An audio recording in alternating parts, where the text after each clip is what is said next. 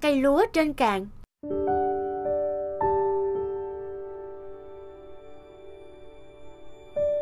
Chà, vậy là đã cấy xong trước khi nắng lên cao.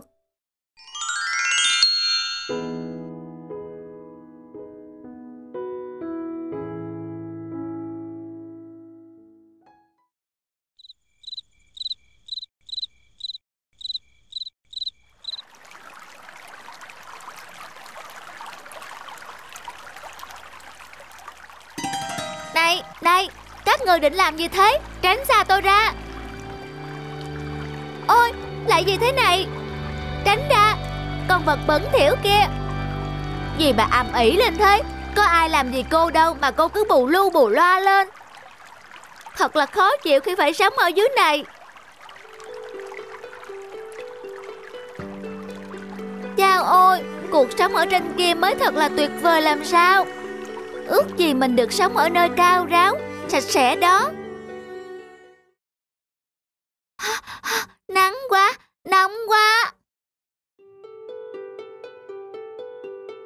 Không thể nào ở đây lâu thêm được nữa, để rồi phải chết mòn chết mỏi ở nơi này, để rồi hứng chịu mưa nắng, phí hoài tuổi xuân. Phải nghĩ cách thôi.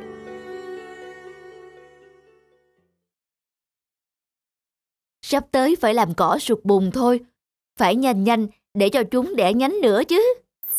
Mình đã có cách rồi.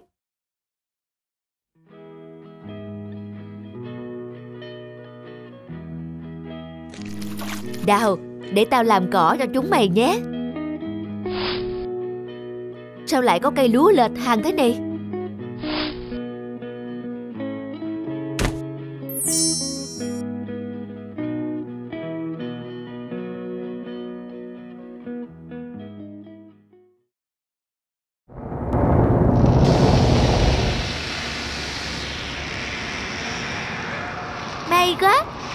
Đây mưa không đến mặt, nắng chẳng đến đầu, trời có mà mưa suốt ngày, mình cũng chẳng làm sao.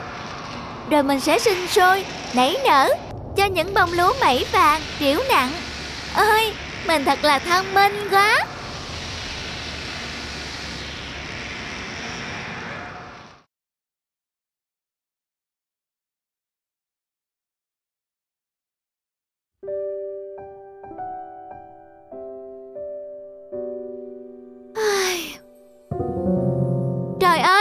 Trổ bông từ bao giờ thế nhỉ?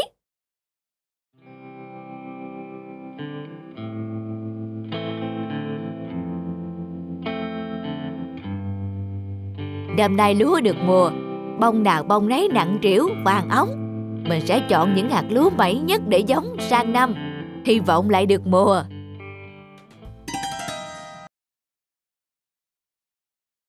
Nhưng mà trước hết phải làm sạch cỏ chỗ này, kéo nó lại lan xuống ruộng lúa. Phải đốt cho tiệt cái giống cỏ hại. Không, không, cứu, cứu tôi với, cứu tôi. Trời ơi, tưởng là được an toàn, hưởng thụ. Ai về lại bị đốt thành tro bụi thế này, tự mình hại mình rồi.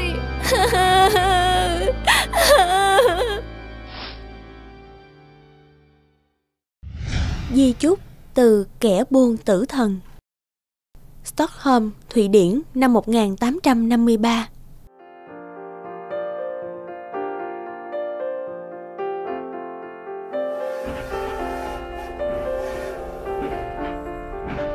Andres, Emil, các con cũng biết rồi đấy, chuyến trở về Thụy Điển lần này, gia đình chúng ta đang phải gánh khoản nợ quá lớn.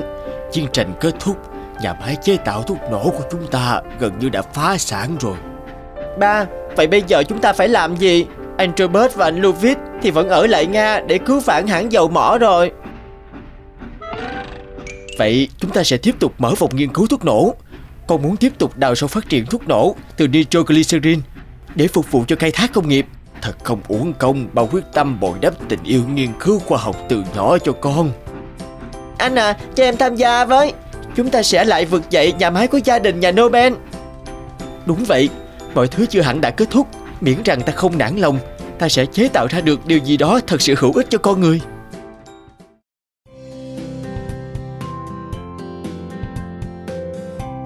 Non Fred, cuối cùng chúng ta cũng thu được chút gì đó từ việc nghiên cứu nitroglycerin rồi.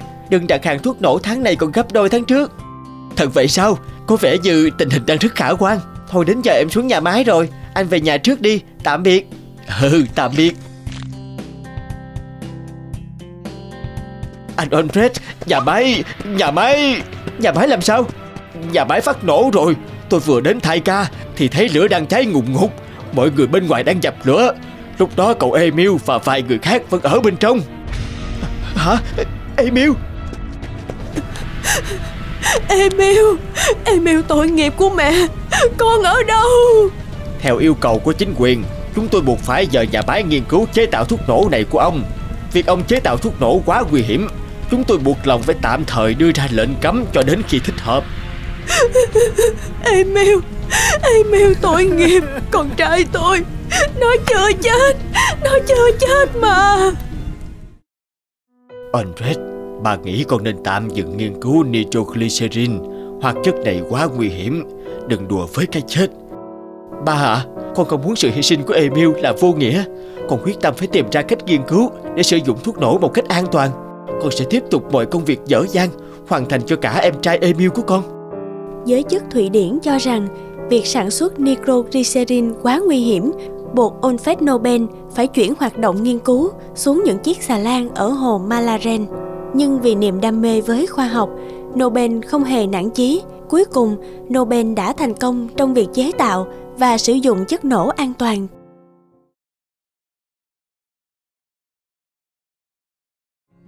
Trong những năm sau đó, Alfred Nobel thành lập các nhà máy và phòng thí nghiệm tại hơn 20 quốc gia.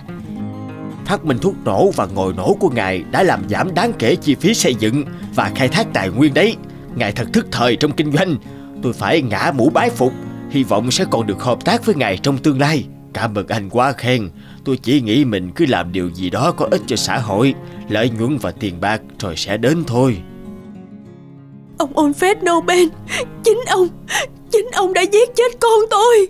Thưa bà, có lẽ bà đã nhầm rồi chăng? Tôi đâu có giết ai.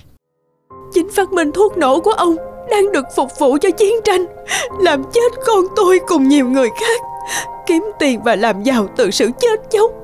Ông nghĩ mình sẽ vẽ vang hạnh phúc lắm sao? Ông là kẻ máu lạnh, là kẻ giết người. Alfred Nobel, ông là kẻ giết người. Ông là kẻ buôn tử thần. Ông ta giàu có nhanh chóng là nhờ buôn thuốc nổ. Ông ta đúng là kẻ giết người.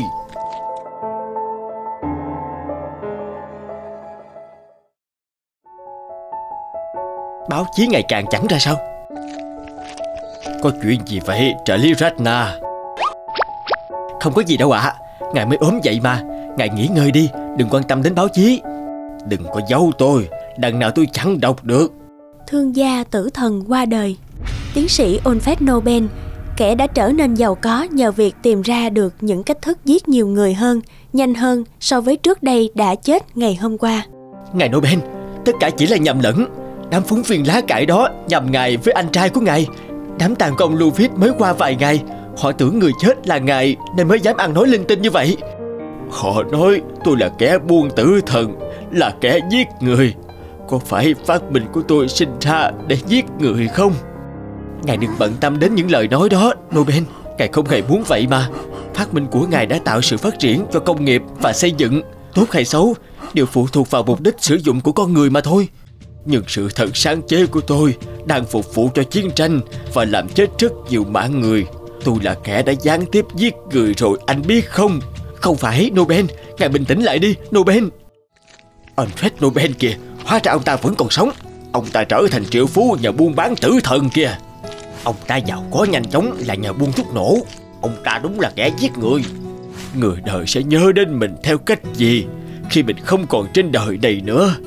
Một kẻ buôn tử thần báo lạnh, Mình không muốn thế. Phát minh của mình nhất định sinh ra Chỉ để phục vụ lợi ích của loài người. Đúng vậy, Phải thay đổi câu chuyện số phận mình Trước khi quá muộn.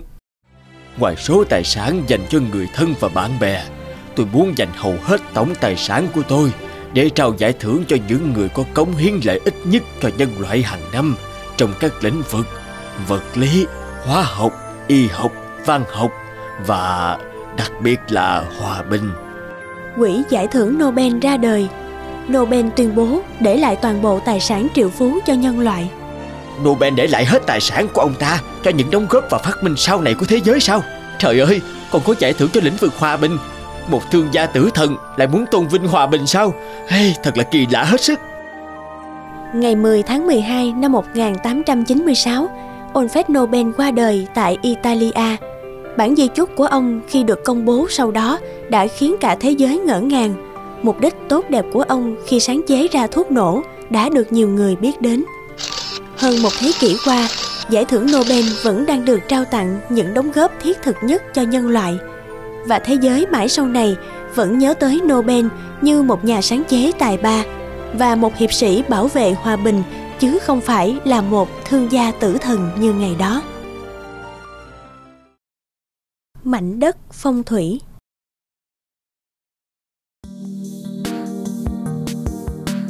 Đội ơn thầy, nhờ có thầy mà phong thủy nhà tôi được cải thiện đáng kể.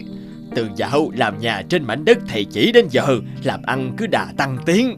Rõ là vậy, anh chỉ cứ ghi nhớ rằng phàm khi làm nhà trên mảnh đất tốt, ắt sẽ làm thay đổi vận mệnh của chủ nhà theo hướng tích cực. Đúng là tiếng thầy phong thủy nổi tiếng nhất trong vùng cấm có sai. Nhà tôi đợi ơn thầy nhiều lắm. Lần sau có việc lại mời thầy qua xem giúp cho nhà tôi nha thầy. Ông bà quá lời rồi, có gì ông bà cứ gọi, tôi lại đến xem cho. Dạ, có dịp mời thầy lại nhà chơi. Thôi tôi về nha. Hồ Vân chào thầy. Gớm, đi đến rã chân suốt cả chặng đường mà chẳng có lấy cái quán xá nào. May quá, có nhà kia rồi, phải vào xin một bát nước, không thì chết khát mất. Chị ơi, làm ơn cho tôi xin bát nước được không? Đi cả chặng đường mà chẳng gặp cái quán nào cả, khát quá chị ơi. Ông đứng đây chờ tôi một lát. Ôi trời ơi, cái mảnh đất của nhà bà này xấu quá. Không biết mà làm nhà lên ờ, chỉ có xui xẻo suốt đời. Trời ơi, xin có mỗi cốc nước mà bà ta đi đâu lâu thế? Ông hẳn cứ đợi tôi một lát nữa đã. Tôi quay lại ngay Không lẽ hôm nay mình ăn mặc tền toàn quá Bãi lại tưởng là ăn xin Nên uh, khinh mình. Thầy kệ Cứ xin được ngụm nước uống cái đã. Ơi xin có mỗi ngụm nước mà khó khăn lâu la đến vậy Bãi định cho mình uống nước thánh chắc Thật là quá thế mà. Đây Nước của ông đây nè. Mụ này chơi khăm mình chắc Biết người ta đang sắp chết khác Chỉ à, cần bát nước lạnh là xong Thế mà bỏ đi rõ lâu Rồi quay lại cho ngũ cốc vào cốc nước thế kia. Thì uống sao nổi chứ?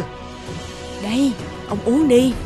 Hôm nay vì nhớ đường quá gian Sắp chết khác mới phải nhịn nhục thế này. Để ông uống xong Sẽ tính sổ với mụ. Ấy ấy Ông hãy uống từ từ thôi. Ông uống nữa không? Để à, tôi đi lấy thêm cho. Ờ thôi tôi uống cũng đủ rồi. Xin phép chị Này chị chủ nhà ơi. Hả? Có việc gì nữa thấy ông? Chả giấu gì chị. Tôi là thầy phong thủy cũng gọi là có tiếng ở vùng. Đi tới đâu là ngứa nghề tới đó Nên cũng ngứa cái miệng. Có gì à, chị thông cảm cho. Ồ vậy ra ông là thầy phong thủy ư. Chẳng hay à, ông có lời khuyên gì cho mảnh đất nhà tôi đang ở hay không? Cũng chả có cái gì to tát. Thấy bà chị tốt bụng và cũng muốn cảm ơn bà chị đã cho tôi uống nước cho nên uh... Dạ vâng, ông cứ nói, tôi uh, xin nghe đây. Cái mảnh đất này là mảnh đất nhà chị phải không? Đúng rồi, thế uh, thì sao hả ông? Tốt lắm, bà mà xây nhà trên đất ấy sẽ vô cùng may mắn đấy. Thật vậy sao ông? Thật chứ chả đùa. Ôi, thế này thì phúc đức cho nhà của tôi quá. May mà gặp được đúng nhà thầy ở đây. Vừa hay nhà tôi cũng đang định nới rộng ra cái nhà này. Này có thầy mách vậy à, thì thật chẳng có gì quý hóa bằng Có gì đâu, cũng gọi là có chút gì à, trả ơn bà chị. Ấy thôi, thế à, tôi chào chị, tôi phải về đây kẻo à, tối mất. Vậy thôi thế, chào ông nha. Cho mũ trừ cái thói xấu bụng đi. Mấy năm sau.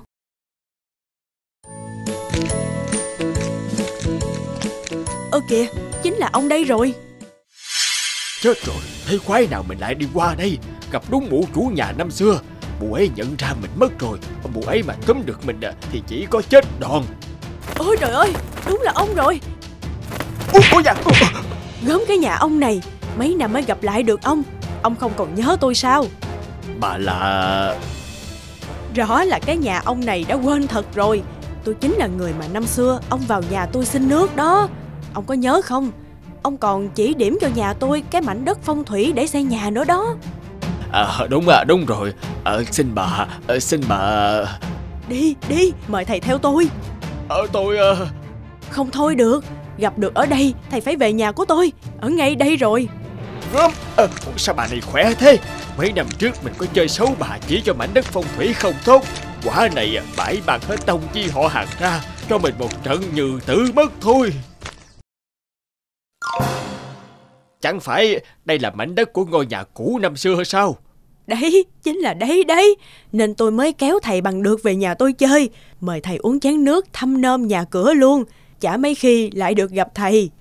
Tại thật, sao họ lại vẫn giàu có, sung túc đến thế nhỉ? Rõ là vị trí mảnh đất này rất xấu mà, lạ thật. Thật là nhờ có thầy chỉ giúp cho.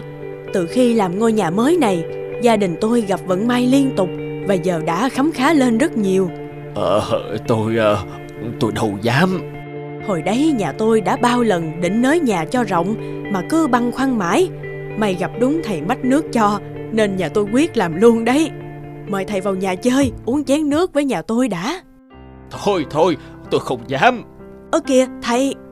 Tôi xin lỗi, thực ra lúc ấy tôi thấy bà đối xử tệ với tôi Nên tôi, ờ, tôi, ờ, Sao thầy lại nói tôi đối xử tệ với thầy? Thế chẳng phải là...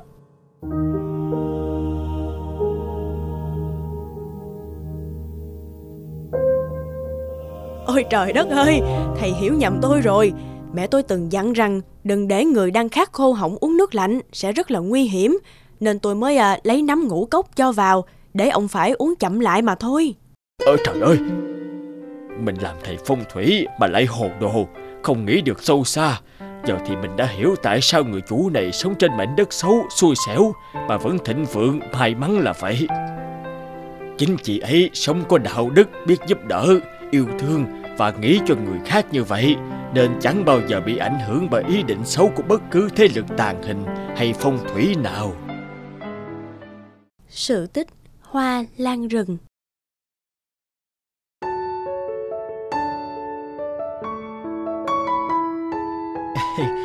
Đây là chiếc vòng ta tự tay chạm khắc từng bông hoa để tặng nàng. Nàng có ưng ý không? Ôi, chiếc vòng đẹp quá Ta cảm ơn chàng Ta sẽ luôn mang chiếc vòng trên tay Và giữ gìn nó như một báu vật nàng thích nó là ta vui rồi. Ừ, ôi, vui quá mà ta quên khuấy mất Sáng nay mẹ dặn ta đi chợ mua đồ Mà ta vẫn chưa mua gì cả Ta gặp chàng sau nha Vậy nàng đi luôn đi, các cửa hàng sắp đóng cửa rồi. Cậu vừa nhận chiếc vòng bạc của Bôn tặng sao? Cậu thấy chiếc vòng này đẹp không? Hoa văn chạm khắc vô cùng tinh xảo không phải chiếc áo tím cậu đang mặc là của anh Philip tặng sao? Sao còn nhận vòng của Bon là họ tự nguyện tặng quà cho mình đấy chứ Cậu không có tình cảm với cả hai người đó Thì đừng nhận quà họ tặng Như vậy là bắt cá hai tay đấy Người ta biết chuyện thì chẳng hay ho gì đâu Cậu yên tâm Mình nhận quà Nhưng mình chẳng hứa hẹn với ai cả Mau tránh ra, tránh ra. Ồ, mau tránh đi, mau tránh đi. Ờ, nè cô, cô không sao chứ? Ý, chiếc xe ngựa này chạy ẩu quá. Ờ, tôi, tôi, tôi không sao. Cảm ơn anh.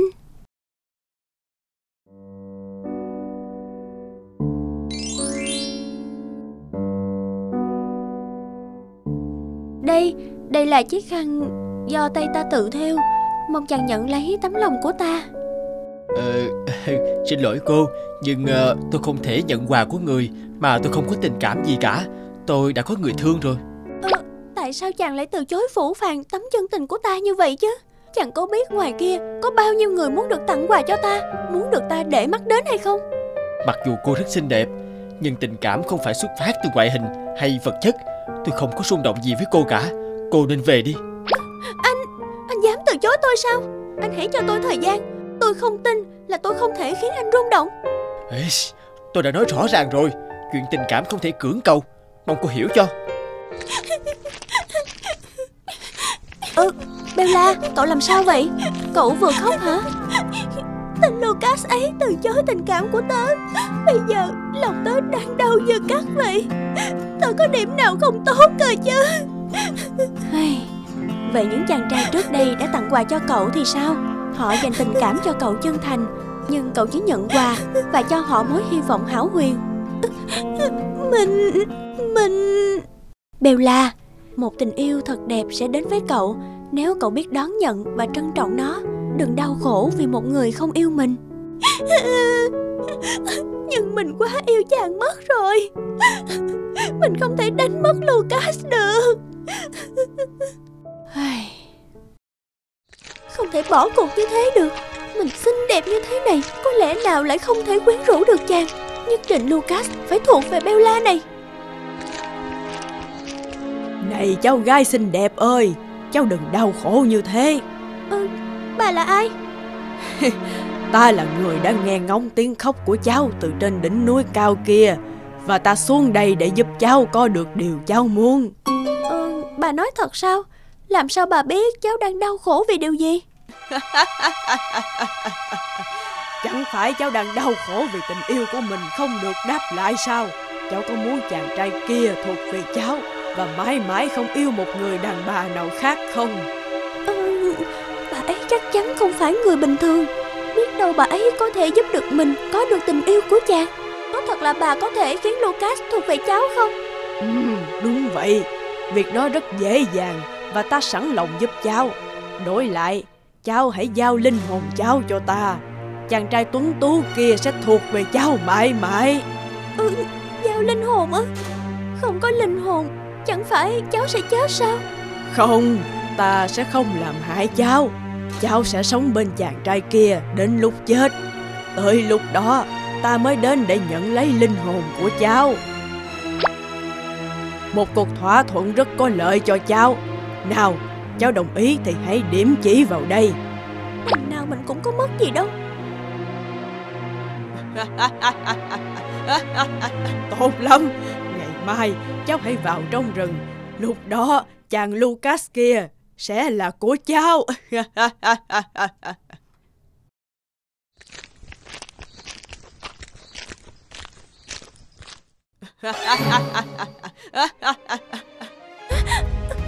Lucas, chàng bị làm sao thế này?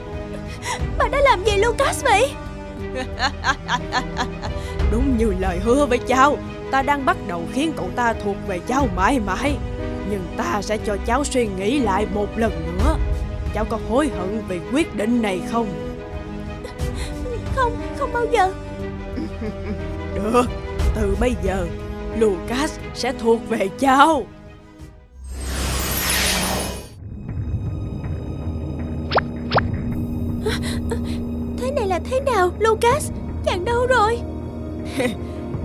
phải người muốn anh ta thuộc về một mình người mãi mãi sao?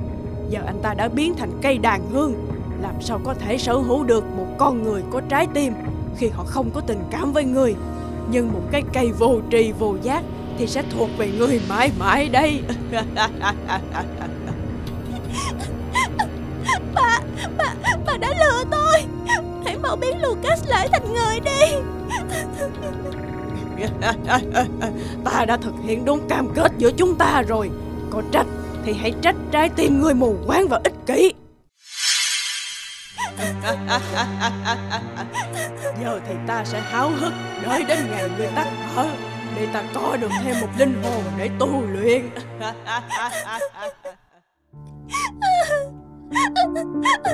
Lucas, Ta xin lỗi đã làm hại chàng rồi. Bella cứ khóc Khóc đến khi nàng yếu dần đi Và gục đầu chết dưới gốc cây. Thân thể nàng biến thành những khóm cây nhỏ, Bám lấy thân cây đàn hương. Cứ mỗi độ xuân về, Loài cây ấy lại nở những chùm hoa tím, Như chiếc áo mà nàng Bella khi xưa thường mặc. Người ta gọi đó là hoa lan rừng. Hãy like, comment, subscribe kênh để xem thêm những video mới nhất nhé.